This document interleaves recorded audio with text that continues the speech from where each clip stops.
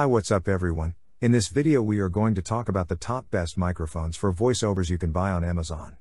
If you are new to this channel, please consider subscribing to our channel and press the bell icon. Finding a microphone that will add confidence to your recording and showcase your talent can be difficult. There are several different types of voiceover microphones on the market, and everybody has an opinion on which ones are the best.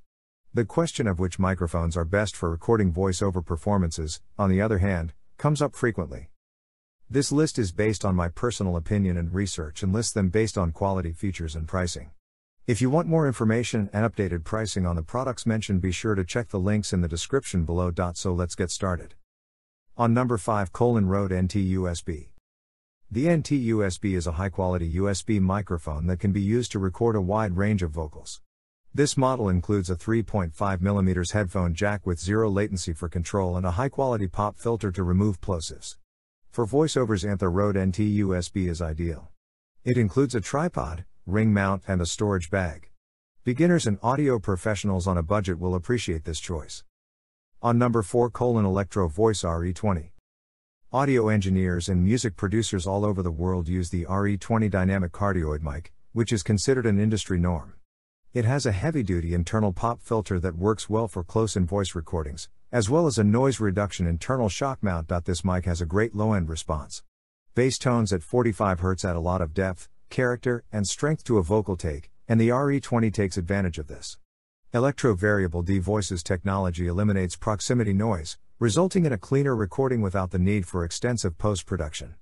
I tested this mic in both studio and noisy settings, and the variable D technology made a noticeable difference in maintaining the emphasis on my voice each time. The RE20 includes a large diaphragm and bass roll off control for superior sculpting of vocal characteristics. These two features made it easy to get professional results in my studio at home as well as in a professional vocal booth. On number 3 colon Sennheiser MKH416P48U3. The Sennheiser mic is known as the gold standard in technical studios. The Sennheiser is a classic directional shotgun mic that's perfect for road trips and outdoor recordings. It's rugged, lightweight, and easy to use. It has feedback suppression and provides excellent sound quality and ease of use. Do you see it as a part of your home studio equipment for recording your voice? It has never been simpler. The Sennheiser MKH416P48U3 is excellent at capturing clear vocals on set while still recording natural ambience. This makes it an essential piece of gear when you need a mic for vocal work in a crowd. During testing, I found that this mic rejects feedback for clear audio and monitoring environments.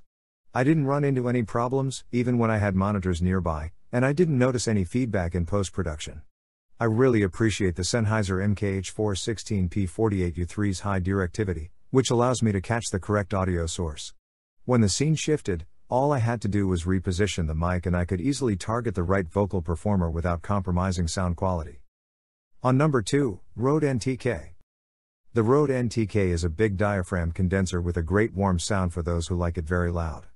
The mic's wide dynamic range and reliability have also been praised by users. It, like other tube microphones, needs to be warmed up before it works at its best. Before recording an audio lecture, make sure it's turned on and on standby for at least 20 or 30 minutes. The Rode NTK features valve circuitry, adding warmth to vocals and instruments alike. During testing, I really liked how, even in a vocal booth, my voice came across with an analog tape quality reminiscent of the classic mics of the 1960s. When it came to frequency response research, I was pleasantly surprised to discover that, despite focusing on warm tones in general, the Rode NTK delivered on the company's promise of full spectrum frequency response. This mic includes the addition of a gold plated 1 diaphragm, and this combines well with the Class A circuitry and graded 6922 twin triode valve to improve performance in terms of sound reproduction. On number 1, Rode Procaster. For YouTube videos, lengthy narrations, and audiobook recordings, the Procaster is ideal. This model offers a tight polar pattern and tailored frequency response.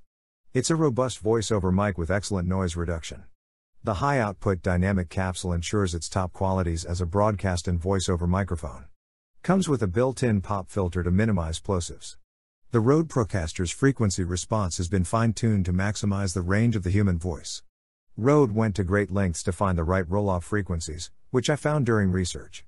After 75 Hz, the bottom end drops down, and the top end peaks at 18 kHz. Although suited best for voiceover work, I tried this mic on some instrumental recordings and was satisfied with the results. It makes for an excellent room mic, but I was also able to get good results on guitar and bass cabinets. The low impedance quality of this mic monitors character and provides placement options, making it an important piece of recording gear for voiceover artists who need to record in various locations during a project. So, guys, this was the video about the best microphones for voiceovers. All the links are given in the description, do check them out. If you enjoyed the video, be sure to hit the like button and subscribe to our channel for more videos. Thank you.